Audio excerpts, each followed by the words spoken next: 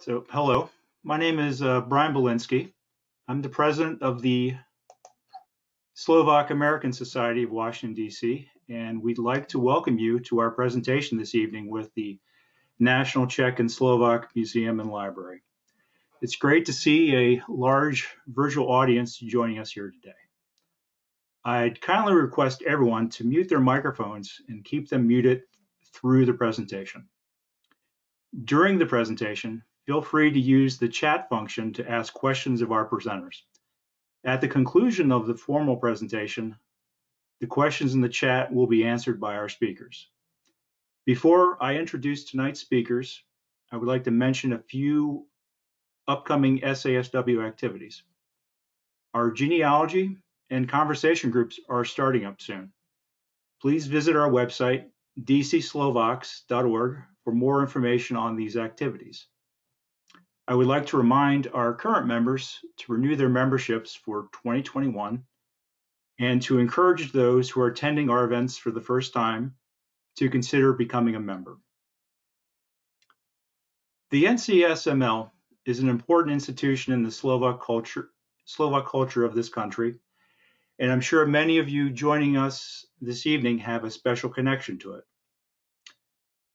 Tonight, we have three speakers from the NCSML joining us. President and CEO, Dr. Cecilia Rokusek, Curator, Stefanie Kohn, and Librarian, Dave Muhlena. Stefanie will talk to us about the museum's collections and holdings and give us a inside look at current exhibitions and a sneak peek into future ones. Dave will provide an in-depth look into the library's collections and discuss the services provided by the library staff. Dr. Rokusek will discuss how the NCSML has survived three major disasters in the past 12 years and how change came much earlier than anticipated. And with that, I'll turn the floor over to uh, Dr. Rokusek. Thank you so much, Brian. Uh, Dobrý večer a vítáme na vaše uh, Národní uh, České slovenské muzeum a knihovna. It's a pleasure uh, for me, and I said it in our native tongue, welcome to your National Czech and Slovak Museum and Library in Cedar Rapids, Iowa. And I'm just going to take a few minutes to talk a bit about this museum and how, as Brian said, we have survived three disasters. Uh, this beautiful building that you see in front of you uh, opened up in 1995 and it was dedicated by the three presidents at that time of the United States, President Clinton, President Havel of the Czech Republic, and President Kovac of Slovakia. And it was in 1992 prior to that dedicated and uh, uh, recognized by uh, the U.S. Congress as the only national uh, Czech and Slovak museum and library for the country. So we are like the Národní Museum in Bratislava and like the Národní Museum in uh, Prague. So the three of us share that sort of one a common bond is that we are the national museums for the preservation eh, of our uh, cultures and for the education of all people.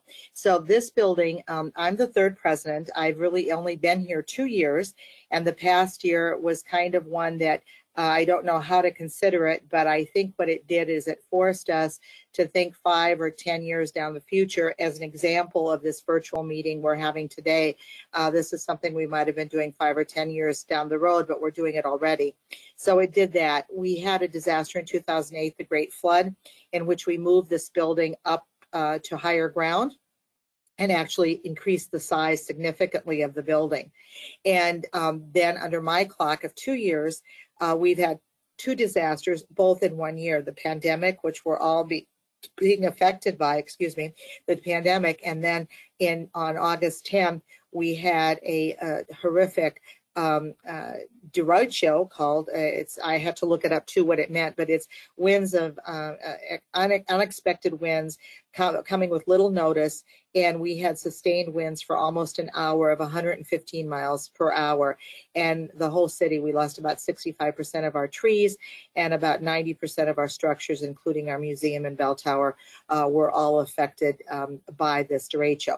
So that's how we look. And like I said, we moved to higher ground and officially opened now in 2012.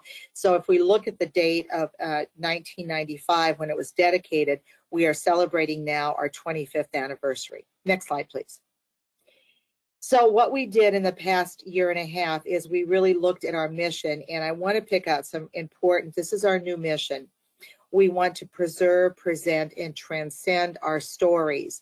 Um, and through experiences and active engagement. So this is a good example and a special thanks to the Slovak American Society of DC for uh, bringing this uh, to you is that we want to bring to you our experiences, our stories, ideally that you can come here, but also that we can do it virtually. And we like to think of ourselves as being the National Czech and Slovak Museum and Library, but we want to bring our stories to all cultures so that you can learn from us. And each year we do the naturalization ceremony for new citizens in Iowa. And um, I've been lucky enough to speak the last two years for that uh, special occasion. And I always say, welcome to your museum.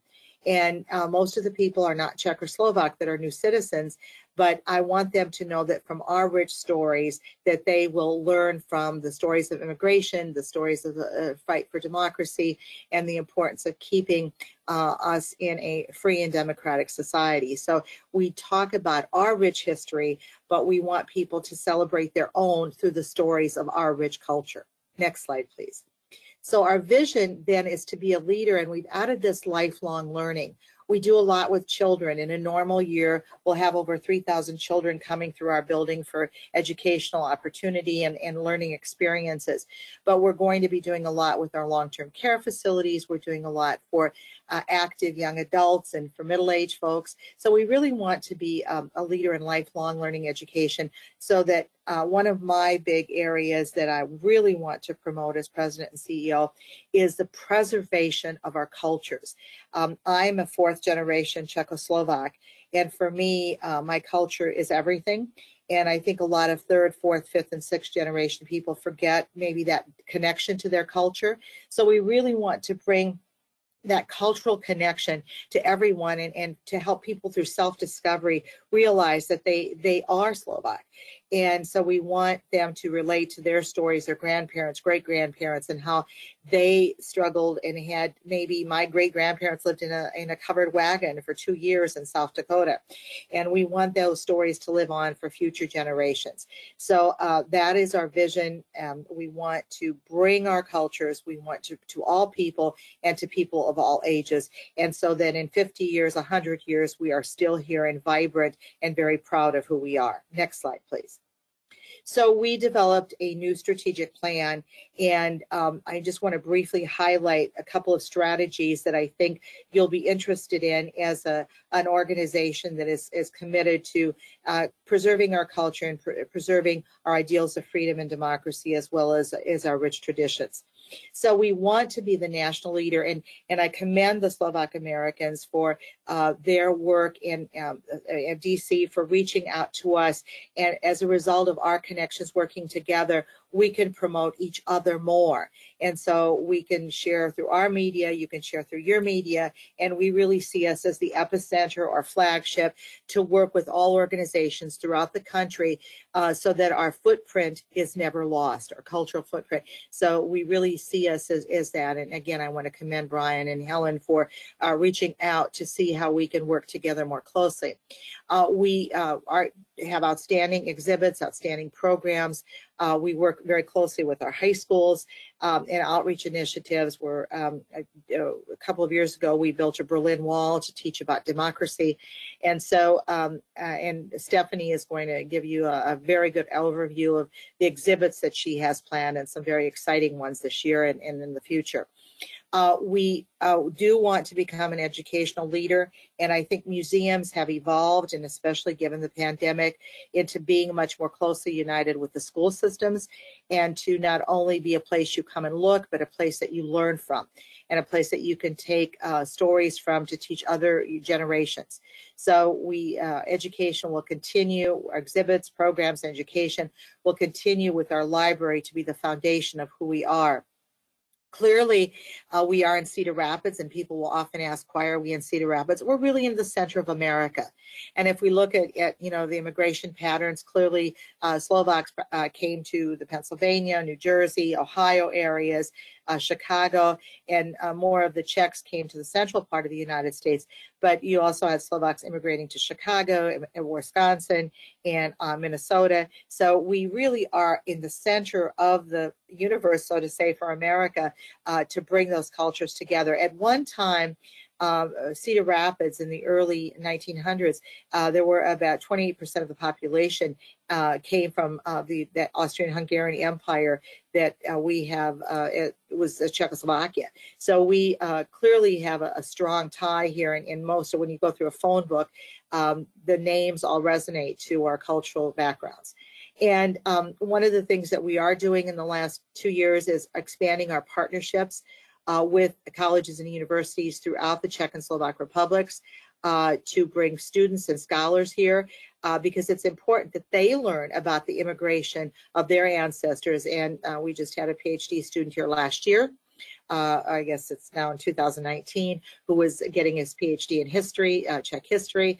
And we've had um, students from um, another student getting his degree in, in uh, actually filmmaking and did a great job with us in, in doing some things for the museum. So we are working with Comenius University, we're working with Machiavelli University, we're working with Olomouc and Palacky, and we're working also with Charles University.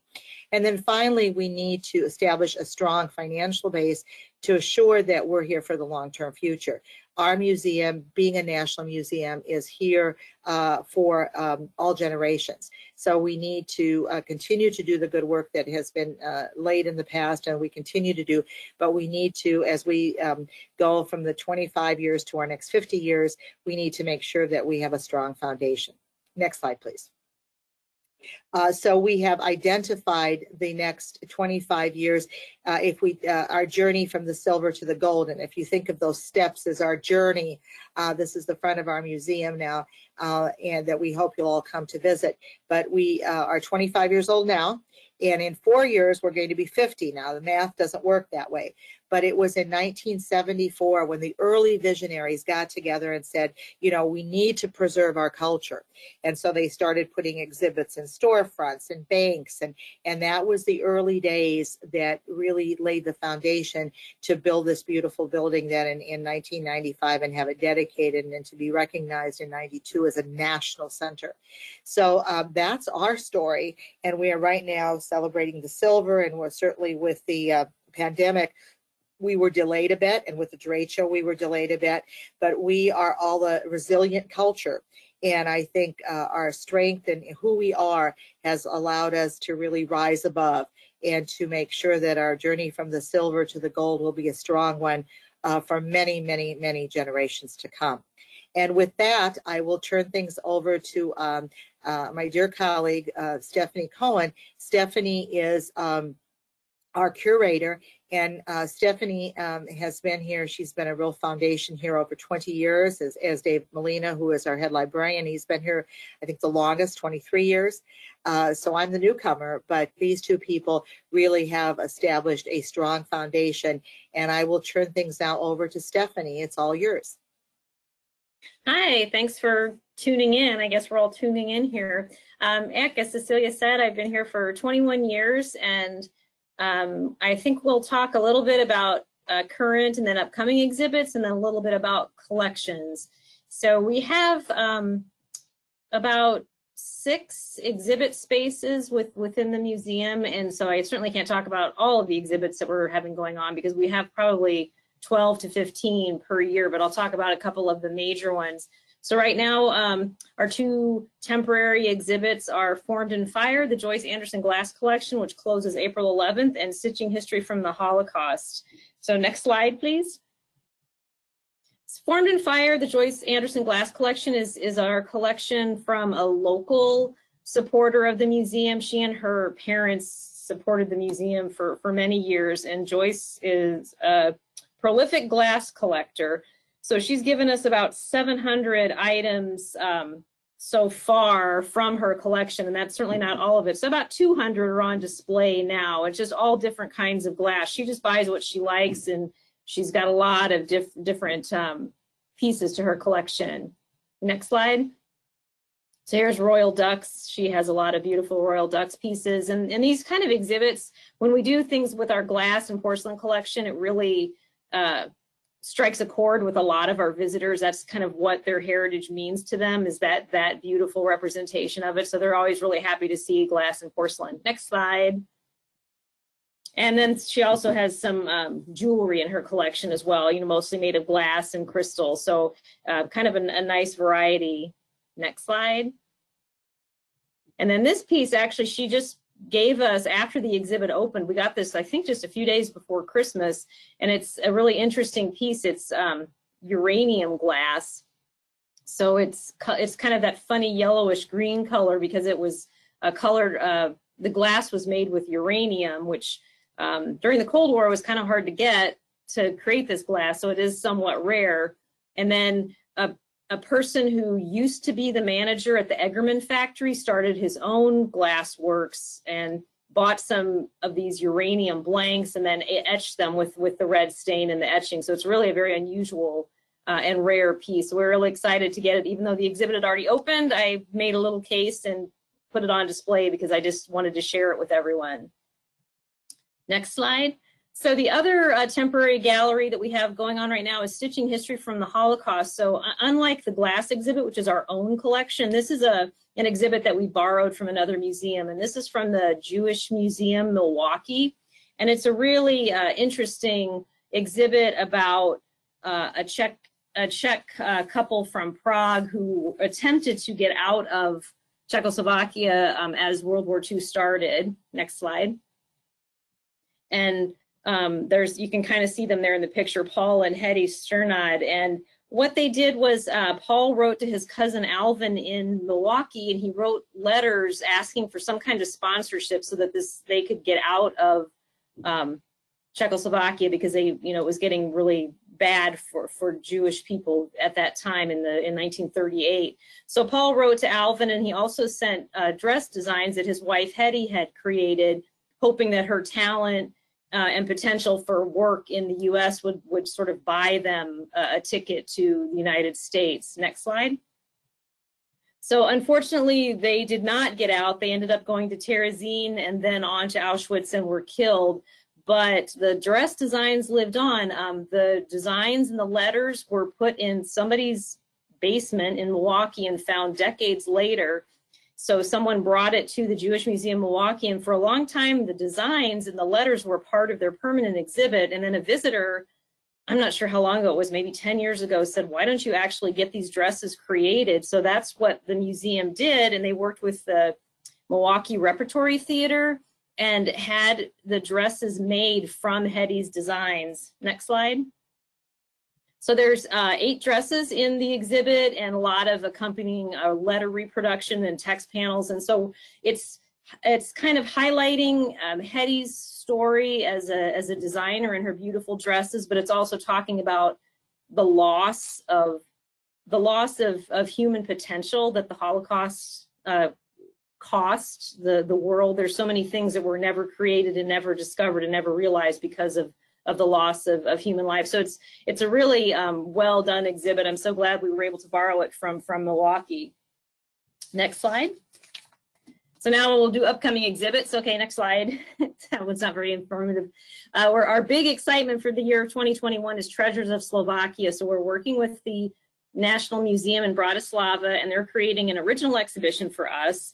It will open May 21st and go the rest of the year and it's going to um, kind of feature four uh, key areas of Slovak history and culture, and it's all put together by the staff at the Slovak National Museum. Um, we're working with them, but they're really in charge of what's going to be in it and, and writing the stories that they want to tell. And I mean, of course, these artifacts have never been to the United States that are that are going to come here, so we're pretty excited about it. Next slide. So here's just uh, some pictures that they have sent us of some of the types of items they plan to include in the exhibit. Next slide. And I don't have a lot of information about what they are, but they really they are so beautiful and interesting. This is some kind of musical instrument that's going to be discussed. Next slide. And this is an example of art. And this one I was told is called Two Women and it's by Martin Benka and it's from 1933. So that, that I had some information about. So we're gonna have um, natural history, next slide, um, fine art, natural history, folk art, and um, I'm not sure what the fourth topic is. Maybe just maybe just ancient history because I really had wanted uh, there to be a focus on kind of the older history since in America, you know, 200 years is old, but obviously in Europe, a thousand is is is pretty cool for Americans to see something like that. So we're looking forward to that exhibit. And next slide, um, we're having uh, toward the end of 2021, we're having the Slovak headdresses from the Baine Cincebeaux collection. Uh, Helene Cincebeaux has got the largest collection of Slovak textiles in the United States, and she also collects uh, some Moravian and Czech. And either these are some examples of Slovak headdresses. You can see the variety of them. It's going to be very, very interesting. And that's another topic. You know, people, some people really like our glass exhibits. There's other people that if we have anything like about textiles or folk dress, they're there. They really want to see that. And that's important to them too. So we try to, can't have it all the time every year, but when we do have it, we get a lot of really excited people coming to see it. So we're really looking forward to highlighting Helene's, you know, headdresses. Next one. Another uh, topic we're going to have, this is another traveling exhibit. It's Jacob Riis, How the Other Half Lives. And uh, Riis was an immigrant in the 19th century in, in New York City. He became a photojournalist, which was not a thing really before he did it. Um, and so he photographed immigrants mostly on the Lower East Side of New York City where they worked and where they lived. Next slide. And then he used his images to, he actually did lantern slide show uh, talks and presentations and lectures around, um, really around the, the country, highlighting people so people would know what it was like for, for these immigrants and how they lived. So this is not a Czech or Slovak specific topic. This is more like all uh, mostly European immigrants in, in the late 19th century to the United States. So it's a really well done traveling exhibit. So um, we're really ex excited to have that. And that's only three of our upcoming exhibits. As I said, we will have at least 10 in 2021, but that's kind of the three that I chose to tell you about. So moving on to the next slide, I'm just going to talk a little bit about the artifact collection because that's kind of my department is exhibits and artifacts. So this is um, I certainly won't read this to you, but this is our kind of our basic collections policy where we're pretty much collecting Czech and Slovak items, material culture, folk and fine art, um, not too much American unless it's real specific that Czech and Slovak Americans used it. We really try to stick to to Czech and Slovak things, and we like things with a good story. So, you know, I'm a sucker for a good story of somebody escaping from the communists or something. You know, that then that artifact's gonna be really interesting to me. Next slide. So kind of a brief overview of the collection. We have over 19,000 items now and um, growing, growing all the time. About 6,000 of those are textiles. When I started 21 years ago, we didn't have 19,000 items. I, I can't remember how many we had. It might have been about 10,000, but half the items then were textiles. So um, it, it has grown in other directions now, even though we do love our textiles. And about 200 of the textiles make up full kroje. The rest are either pieces or it's a tablecloth or uh, a piece of embroidery or something like that. But we do have quite a large collection of, of full uh, folk dress, which we're very, very proud of. And we always have at least 12 on display in our permanent exhibit at, at any given time because people really want to see that. Next slide. These are some images from our collection storage. You can kind of see there's a box with some uh, textiles kind of folded up in tissue in it. Uh, there's shelving. Most of those boxes on the shelves do contain textiles. Um, everything is cataloged, photographed. Uh, we know the location of everything with our computerized database. The other is a the other picture is some cabinet doors that are open to show we keep um, glassware, perfume bottles, porcelain in these uh, cabinets, so you can just open the door and kind of see see what you see what you got going there. So it's pretty fun to open up the cabinet door and see what you're going to see. Next slide. And a way that you can connect with our artifact collection, if you can't actually come here to see the exhibits, where probably about 3% of our collections on display at any one time, so you're never going to see everything. but we do have an online artifact collection that right now has about um, nearly 4,200 items on it, which is pretty impressive. Our um, collections manager, Trisha Bender, is in charge of that database. So you can go to our website and under exhibits, you'll find the online artifacts collection and you can go through and look at pictures and see descriptions of, of the artifacts. And I don't know if we'll ever get all the pieces on there, but we're just working through it. Um, just adding as many as we can every week. Some more should probably get added. And um, then that's a good way for people to be able to, to look, look at artifacts. It's helpful for um, people doing research or for students. So even if you can't come here, you can kind of connect with the artifact collection. And that is what I was going to tell you about. I think it's time for the library for Dave Muhlena. Thank you. Um, so continuing with the library or the collections overview, we'll just kind of go into what we offer in the library. Um, so we're we we uh, are not just books. We have uh, materials in, in many different formats: books, periodicals, phono records, archival materials, oral history interviews, and it's a multilingual collection as well. Um, and so I would say probably the the the uh, most common language we have in, in our materials here is Czech, followed by Slovak, and then English, and then German. So next slide.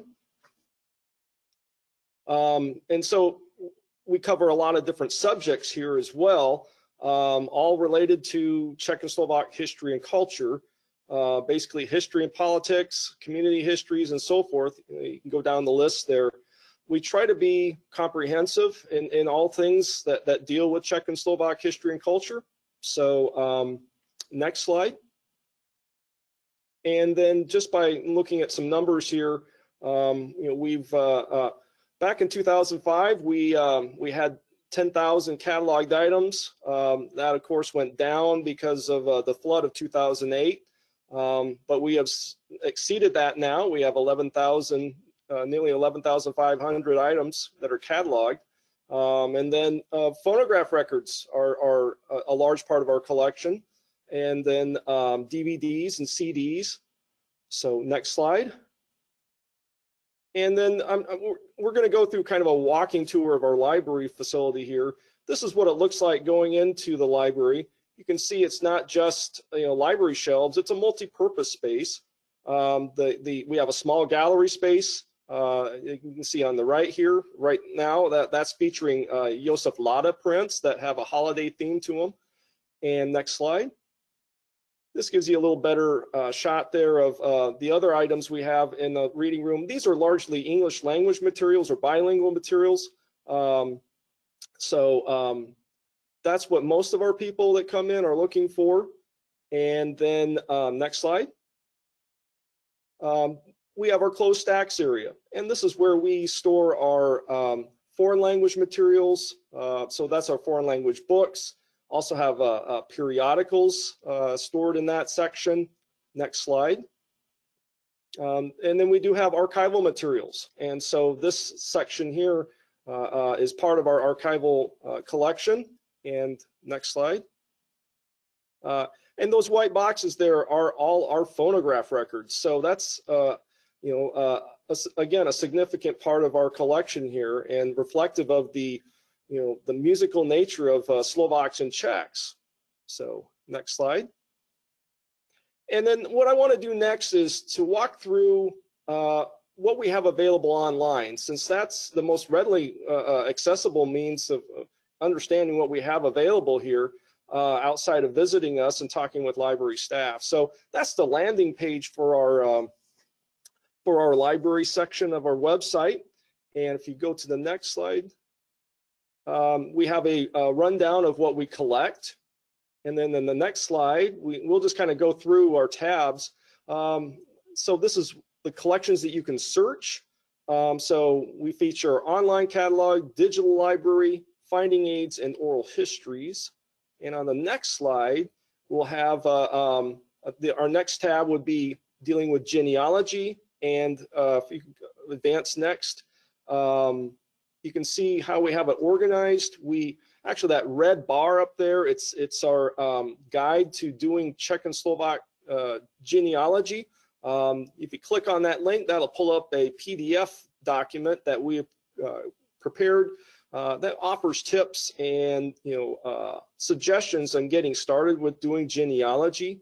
Uh, the other uh, pull down slides that we have below there are organized basically by uh, ethnic groups. So we have Czech, Slovak, Carpatho-Rusin, Jewish, other genealogy resources, and then other Czech and Slovak genealogy organizations that are active. Next slide. And then um, people, you know, uh, uh, both Stefanie and I get donation offers on a regular basis. So this uh, uh, kind of walks people through about what to expect uh, uh, or what we're looking for for um, you know donations of library materials. Um, next slide. Um, that's uh, we- we're. Uh, I have a colleague, Leroy is our uh, Leroy Bradway is our uh, library cataloger, and we too are the ones that you will encounter if you visit us or email us or call us. Um, you know, we provide reference service as well. So, um, and that might be a good. Let's see, and then external links. Um, we're growing our our links to other things about the Czech and Slovak American communities. Um, so that first uh, pull down tab there is Czech, Slovak, and Rusin fraternal organizations. Um, and the other one is Czech, Slovak, and Slavic uh, festivals. Um, so I encourage you to explore those just, uh, and we'll be adding more content in this section. Uh, so look for more to come. And this might, let's look at the next slide there. Um, I'm going to take this opportunity too to talk about some of the services that Leroy and I provide. Um, so, um, you know, I encourage you, if you have any questions regarding, you know, Slovak or Czech history, culture, uh, genealogy, um, to contact us. Um, so both Leroy and I, you know, have been working here for several years and are quite familiar with our collections as well as those of other uh, collections that are out there. Uh, there are other um, universities, uh, certainly the Library of Congress, uh, that have um, you know collections as well. So we do a lot of referrals to other organizations uh, based on the individual's needs. Like today, I got an uh, inquiry uh, from somebody who's looking for translation work. We do not provide translations here. However, we do refer people to others that, that do. And then there was a fellow looking for genealogy uh, uh, assistance um, who uh, wanted to do some like heritage tourism. So I gave a referral to some researchers in Czech Republic in this case. So um, we do, you know, advise a lot of people on on various things and and you know either point them to resources that we have or ones that are available elsewhere.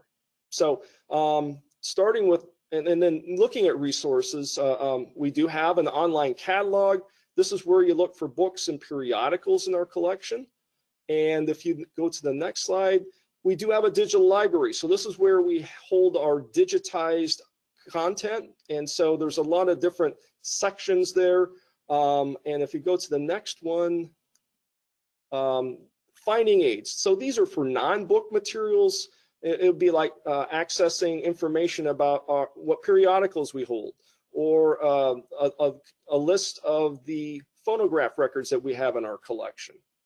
And in the next slide, um, in our oral history project. So uh, about 10 years ago, we engaged in a, uh, uh, actually two uh, oral history projects where we interviewed nearly, well, a little over 300 people who had emigrated from uh, Czechoslovakia, uh, especially during the Cold War, to understand their experience.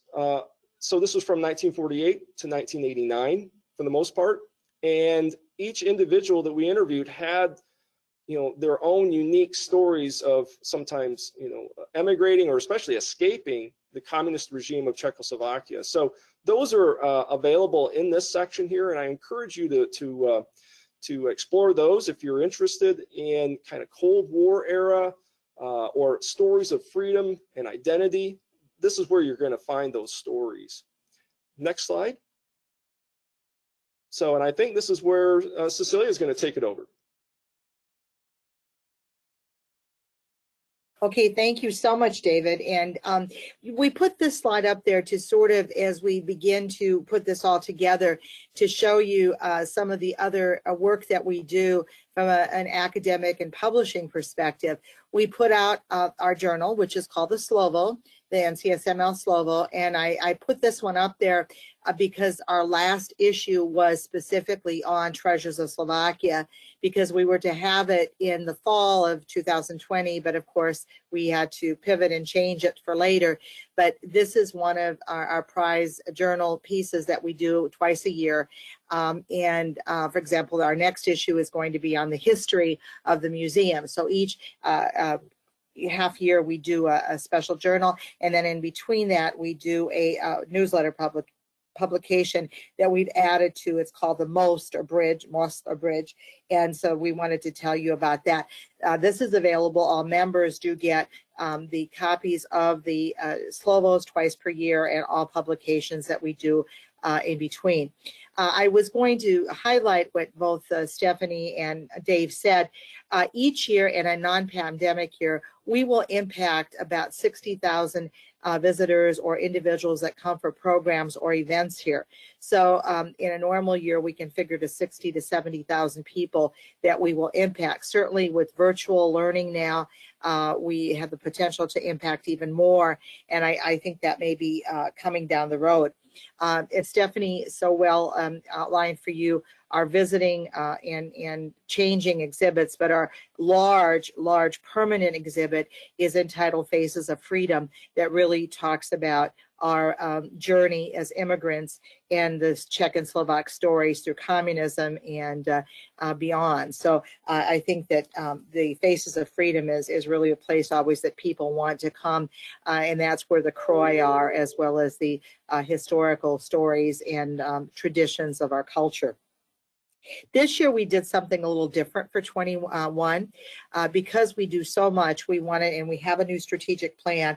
We wanted to really focus on themes. So each year we'll be focusing on themes that will be integrated throughout our exhibits, throughout our programs, and throughout. Um, we have an award-winning store here that tries to highlight and complement our exhibits uh, through our store. It won the National Museum Store of the Year, and we're very proud of that. Uh, so this year's themes for 21 are um, democracy. So we'll be having a program each month on democracy. Our second theme is Treasures of Slovakia, which will be highlighted through our exhibits and programs. And our, our third theme is um, where we're really uh, going to be looking at um, the, uh, so democracy, uh, Czech and Slovak Jews. So democracy, um, Czech and Slovak Jews, and treasures of Slovakia are the three themes that we have planned for 21. And the uh, Czech and uh, Slovak Jewish story is something that we feel very is very important to us because of the fact that young people today um, do not even know what the Holocaust was. And yet the stories of Czechs and Slovak Jews uh, are oftentimes uh, important to history. So um, that's certainly where Stitching History is a big part of that and we'll be having programs around that. And then next year we'll be coming out with uh, three more themes. So each year we're going to try to, to stick to the three themes that integrate so that our students that come through as well as our visitors can begin to understand sort of the stories and the, the themes that, that our ancestors. And we say that we are preserving history we're celebrating the present, which is something we need to do, but we're also creating the future. So I think that's an important theme that we uh, try and um, to carry out, preserving, celebrating, and really creating uh, the future. Uh, next slide, please. Um, it, we are going to open this up to questions, but I do want to give you a couple of closing thoughts. Um, and, and both David and, and Stefanie uh, touched on that. Uh, collections. It's really important that if you know of, of you know valuable collections, whether they be artwork, textiles, uh, books that Dave you know uh, approves or needs of, or music, uh, that you uh, preserve it. Too many times, I think uh, people will throw things away or not realize the importance and the value of this. So I encourage all of you to make sure that we preserve our, our culture by making sure that collections or any artifacts that individuals have are not thrown away and that we can, because this is our national repository. Uh, and in 2019, uh, we became an affiliate of the Smithsonian, which we're very proud of. Um, and that means that, you know, our quality and, and the kinds of work that our great staff do here um, uh, really is a, a mark, a seal of excellence. And I, before we close and before we open this up to questions, that I'm sure many of you have, I would like to commend my executive assistant, Amanda Bartel, for being our, our wonderful, she's a museum professional and she really does a great job. So thank you for helping, uh, and Helen and Brian certainly. So I'll turn things over uh, to you now, Brian. But I do have one slide yet, Amanda, that I want to leave you with before uh, we go, um, and then we'll go back to the questions. Avshita nas uh, nashtivit přivítame. So sometimes we want you to come to visit us, and if you look closely at this picture before we go into the question, this is a brand new mural that we have right side of our, our museum, uh, and it's Mucha meets um, uh, Iowa is the title of the mural. But they asked for us to come and wear our kroje. So if you look at that picture, uh, going from left to right, you'll see our Vice President for Development is in a kroj, our Director of Facilities is in a kroj, uh, Stefanie, our, our curator, is the next person in the kroj, Amanda's in a kroj, I'm in my Zeplanske kroj from Slovakia, uh, my better half is in his Zeplanske kroj, and then we have our, our CFO. So we all got dressed up in kroj uh, for that special event, and they were not from the collection. These were all from our own personal that we have. We do not take and wear kroj from our collections ever. Uh, these are personal kroj. So uh, when you come, we'll even wear them and we'll have collages for you. So prosim, and we would be very happy to uh, velmi radi vas provitame. So please come and see us. So now I'll turn it back to you, Brian.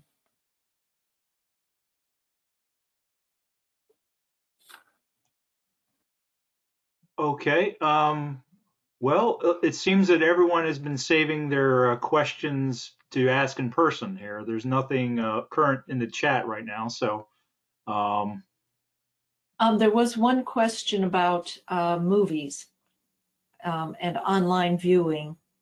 Um, I guess that would go to Dave, maybe?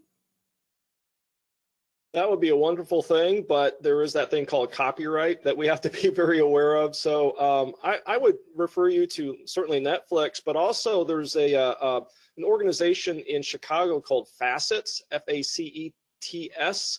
Uh, actually, that was founded by a, a Czech immigrant, uh, Milos Stehlik, who recently passed on. Actually, he somebody we interviewed for our oral history project several years ago but um, they have uh, they specialize in a lot of foreign uh, films so that might be another resource that, that you could reach out to uh, for some of these you know more esoteric or obscure kind of things. Um, but um, but you know certainly contact me if you're looking for anything uh, in particular or uh, and then you know if you want to explore what we have in our collection certainly um, you can uh, um, use our online catalog all those are cataloged at this point that's what leroy did during our, our shutdown period, he got caught up on, on cataloging all of our, our DVDs and CDs this year. So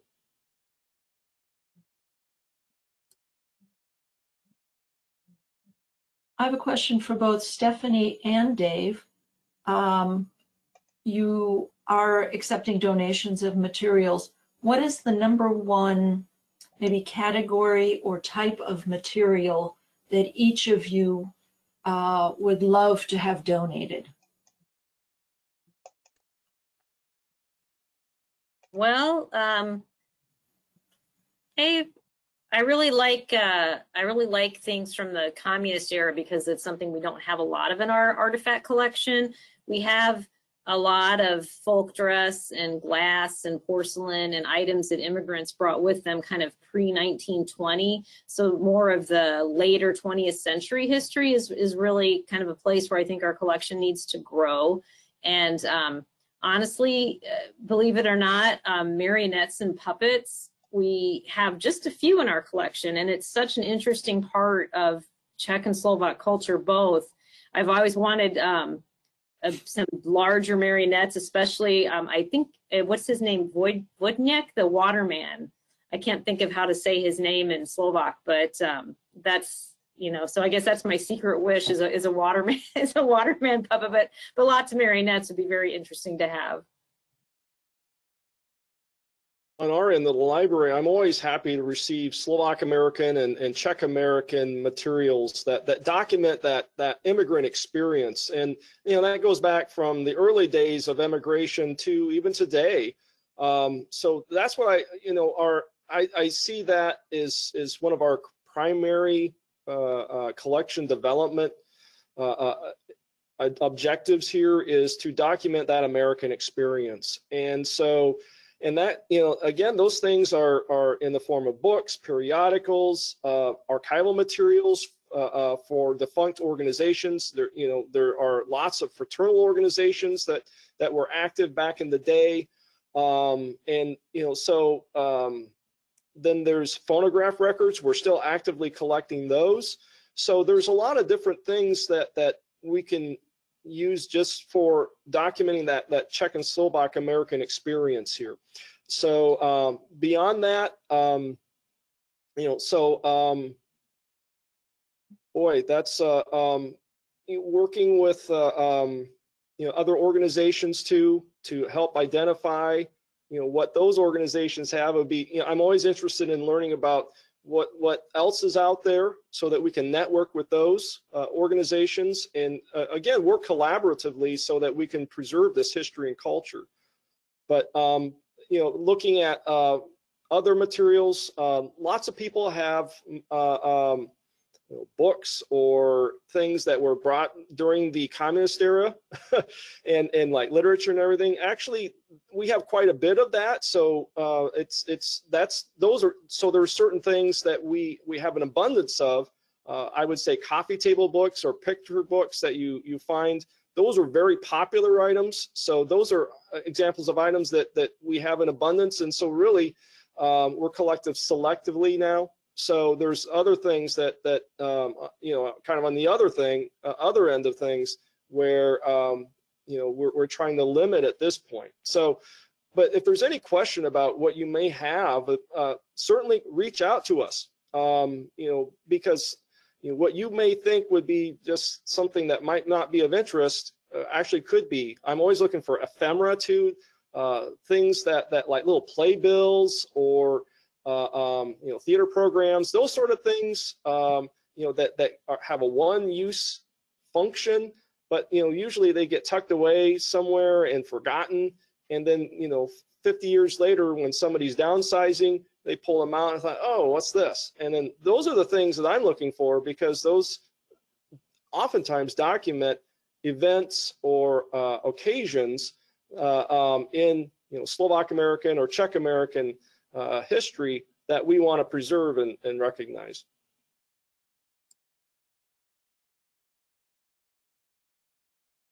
two things I just thought of as both of you are talking, um, and there was one comment, and Dave, maybe you can speak on that. I know that you're looking at albums. There was a question about if you want uh, record albums. And then Stefanie, um, the issue of our traveling exhibits. I think our uh, Slovak American Society of DC might be interested in our traveling exhibits that you have available. So you may want to talk a little bit about that, Steph and Dave. You may want to talk about records.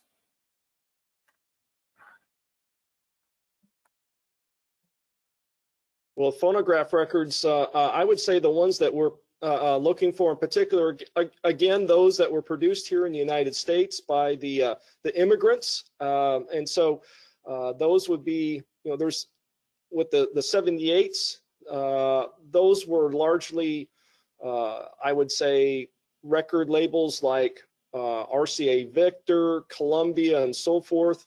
And then during the vinyl age, that things really kind of exploded because that became much more accessible technology. And so then you've got, um, you know, uh, smaller labels that are represented as well. So, and again, I would uh, add that, you know, we're geographically located here in the Midwest. And so, you know, our collection certainly re reflects that, that I would say it's pretty heavily, um, well, you know, well represented with Czech materials less so than Slovak materials, which, you know, looking at the population density in the East, Pennsylvania, Ohio, New Jersey, New York, um, you know, those things don't travel out here as much unless those people traveled here as well uh, through kind of internal migration. So again, you know, if um, if you have materials, uh, please give us some, uh, um, you know, especially Slovak uh, materials. Please keep us in mind. Um, you know, those are an area of growth for us for sure. Um, and Stefanie, I'll turn it over to you. Yeah, we have, uh, for traveling exhibits, we developed some um, exhibits that are basically like uh, retractable panels. So they are uh, text and pictures. Most of them are six to eight panels. And these are available for people to borrow. The, the borrower has to pay for the shipping of them. There isn't any other fee. And they go out to festivals and things. We have a lot of them booked in the summer to go to various Czech and Slovak festivals around around the country, or a library or a Sokol or some such organization might have them on display in their space for, you know, can be any length of time. Sometimes it's just a few weeks. So some of the topics that these are, um, we have one about Sokol, uh, World War One. A really interesting one based on that oral history project is called Leaving Czechoslovakia, and it's about people who left over various in various uh, parts at various times during the 20th century and why they left. Um, we have famous Czechs and Slovaks, which is kind of a fun one because it comes with a quiz. We have something on uh, the Velvet Revolution. So different topics of, of Czech and Slovak history and culture are kind of represented in those. And we try to try to put out a new one every year. It kind of just depends on some of our other projects. And then we also have a more extensive exhibit that travels that's called Tragedy of Slovak Jews. And that's a bigger exhibit that's a couple of crates and it's all about the Holocaust uh, in, in Slovakia.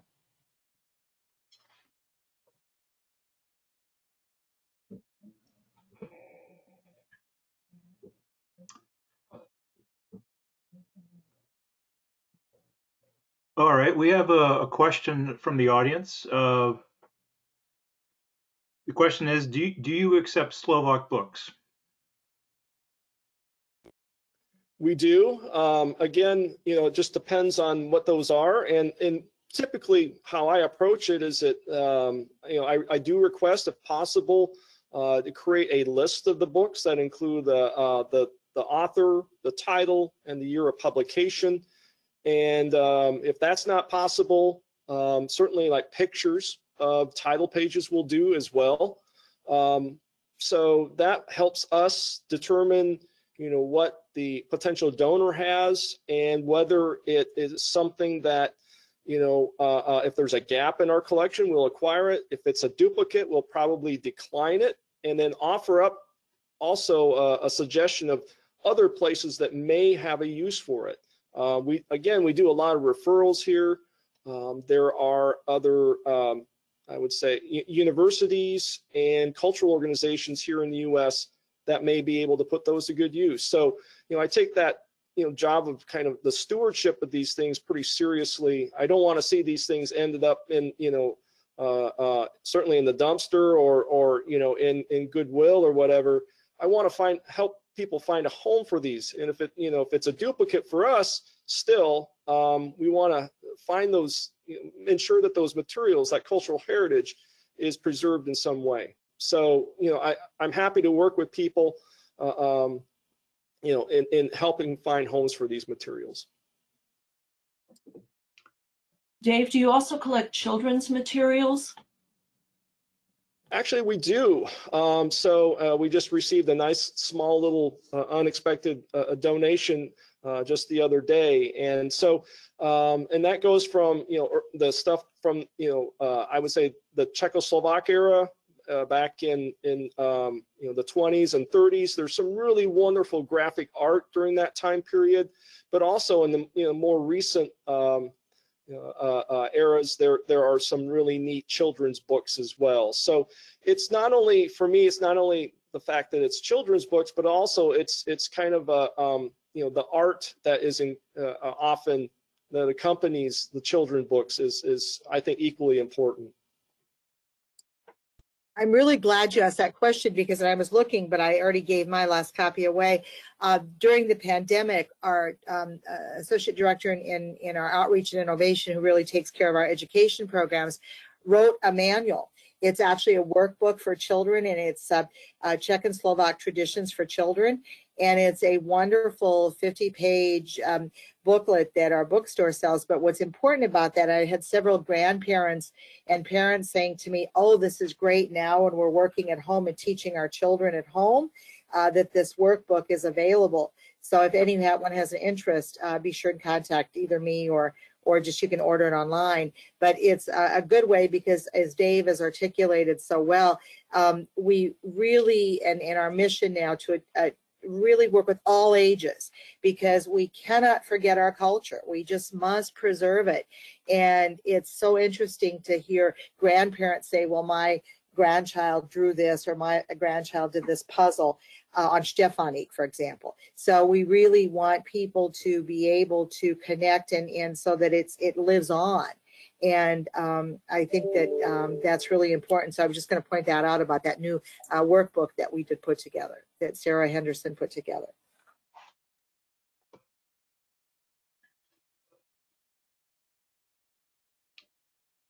So I had a question. Uh, is the library interested in acquiring uh, old photos that may depict some, I guess, significant uh, or some aspect of Slovak life in the new country or in the U.S.? Definitely, yes. Um, you know, I, I, I would hope that, you know, we can acquire materials that document, again, that Czech and uh, uh, Slovak American experience. Um, you know, especially, you know, the, uh, uh, the, the, the uh, organizations that were out there were very active. There's a lot of fraternal organizations, uh, um, other uh, ones that were advocacy type organizations. Um, and, and so um, oftentimes they will have like group photos uh, or photos of their like fraternal lodges and that sort of thing. Um, those are definitely of interest to us here in, in documenting that history and culture.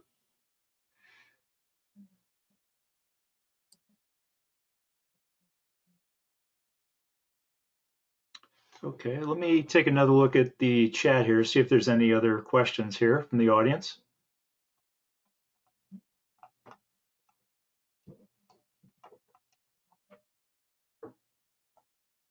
So it looks like there's nothing outstanding in the chat. Um, I guess we, um, do we want to open up to the floor to, for people to ask questions directly? If they so wish.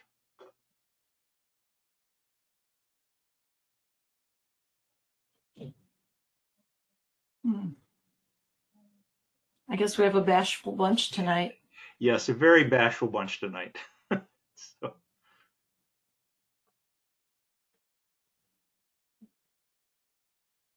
We would love to hear from others too. What exhibits would you like us to pursue? Uh, Stefanie really goes uh, two to three years in advance. So does anyone have any uh, passion or any desire to share with us what they might like to see?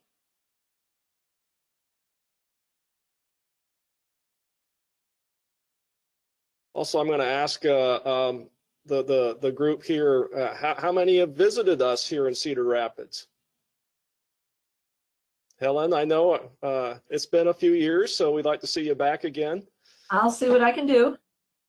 You get the planes um, more uh, comfortable and I'll, I'll uh, make an effort. I saw Catherine was, Catherine was here. She's visited us many times. Tatko? yes, I, I see you're in the list there. Yeah. Yeah. Yeah, we have a really cool uh, sewing machine from her father on uh, display in our permanent exhibit. And sometimes we have a, a, a suit, a plaid suit that he sewed. We take it off display sometimes just to protect it from the light. So it kind of goes off and on display. So I think right now it's on display, the suit is, um, along with the sewing machine. It's kind of in our section of um, the kind of jobs that immigrants had when they came to the US. Uh, we do have a we do have a question in the chat. Um, uh, do you ever do exhibits on food?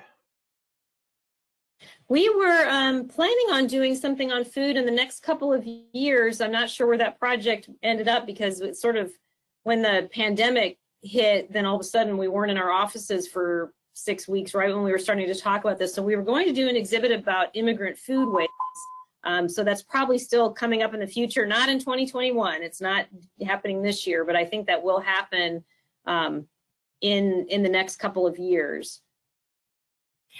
Yeah, I'm sure. Well, and I just want to add to that. That's a great question because, uh, as Stefanie said, we we had this, and and we are. It looks like we're going to be doing a film um, next year uh, in 2022 about immigrant foodways. Uh, we um, have some possibilities to do a film on that, uh, but also uh, probably uh, relevant for now is because of the pandemic. We started. Uh, although the formal announcement hasn't gone out, but a national Czech and Slovak cooking school uh, the only one like this in the nation. And we started in uh, June doing uh, online classes in cooking, Czech and Slovak cooking, including bryndzové halušky. And uh, the classes are sold out each time. And the students actually make the food with the professor, with the instructor online and show it to each other and talk about it. And we're planning, uh, if all goes right, in July of this year uh, to have a week long cooking school uh, here in Cedar Rapids on uh, Czech and Slovak cooking. And so, and then they would actually get a certificate sort of modeled after the New Orleans type cooking school. And so uh, that is um, certainly something that that we're uh, is in our planning, both short term and as Stefanie said, long term.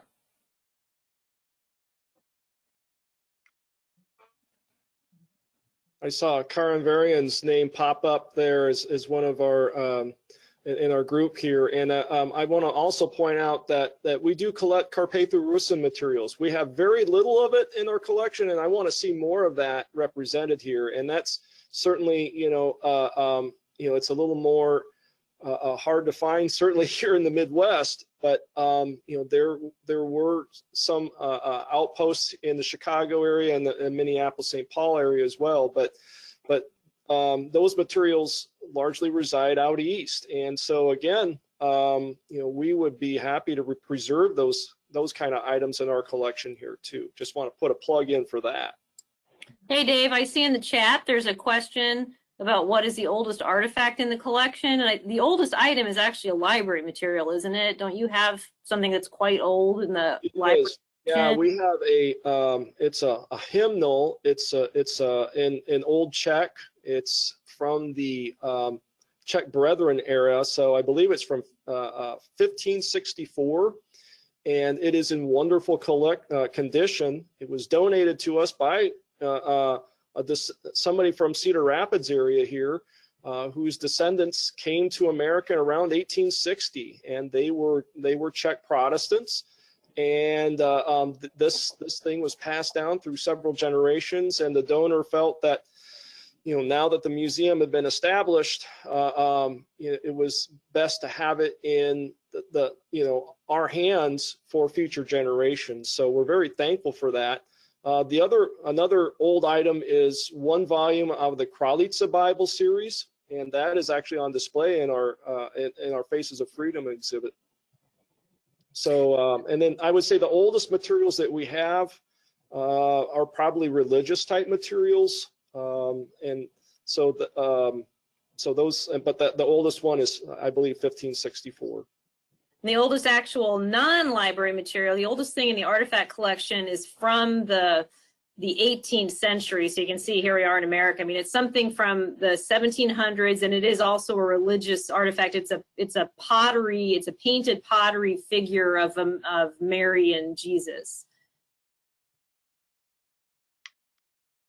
Yeah, I can um, also in the chat, uh, a few people have expressed an interest in uh, exhibits from the in future exhibits from the World War One timeframe, uh, and especially with about families that were separated due to the war. So that's a suggestion from the audience. Okay, yeah, we we have done uh, for as far as World War One era, we've twice kind of done the legions and the formation of Czechoslovakia, but that's really that's that's it. So I'd be happy to look into a, a sort of a different side to to that story in the future. And in the library, we do have material about the Czechoslovak Legion as well. And uh, in the original uh, Czech and Slovak, we also have several books about the uh, um, the Legion and the World War One time period as well.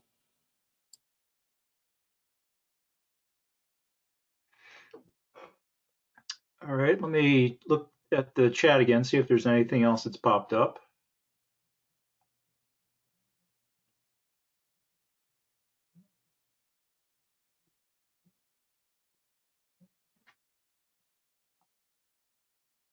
Okay, it looks like we're all caught up on the chat questions here. Um, I guess uh,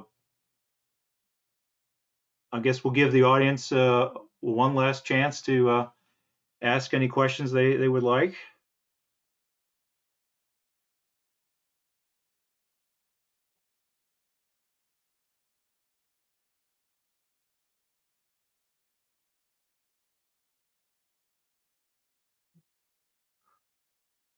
Okay, uh, not seeing any questions here. So uh, Cecilia, um, do you want to wrap things up for us tonight?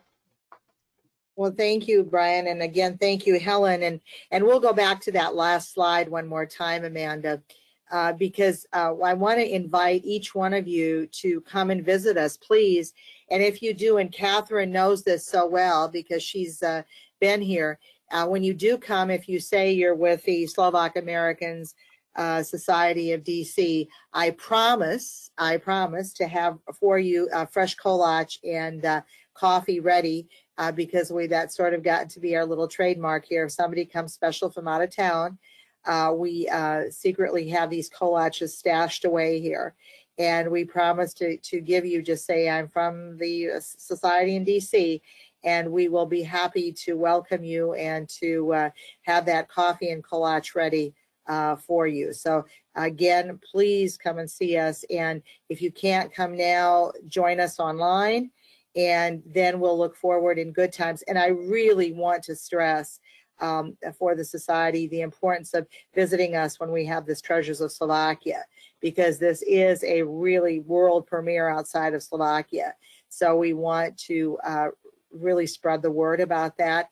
And um, Cedar Rapids is a lovely place to come and vacation. Believe it or not, we're just three hours from Chicago and we're 25 minutes from the University of Iowa if you're a football fan. And so we do have a lot to offer. We have the Amana colonies, which were settled by Germans, uh, and uh, a very large settlement uh, in the Amana colonies. And so there's a lot to see here. And if you're a Dvorak uh, uh, music uh, aficionado, we're about an hour and a half from where he composed some of his works when he was in America. So definitely it's a place to come and visit. Uh, and uh, we would love to welcome you with that kolach, okay? And great, great history connections and, and culture. And this is Catherine. Can you hear me? Yes, we can, Catherine. I just want to say Cecilia does keep her word. The kulach and the coffee is waiting for you. So that was wonderful when we came a couple years ago. So thank you again. Thank you, Catherine. Okay, well, all right. I'm I'm looking forward to enjoying that too when I come out to visit. So, so I would like to uh, thank uh, Cecilia, Stefanie, and Dave for a, a, a wonderful presentation this evening. And I would like to thank the audience for joining us tonight. And please consider offering your support to the NCSML in the future. So, with that, I wish everyone good night and thank you for joining us. Thank you for hosting. Bye-bye. Bye. Good night. Dobranoc. Dobranoc. Do widzenia. Over nuts.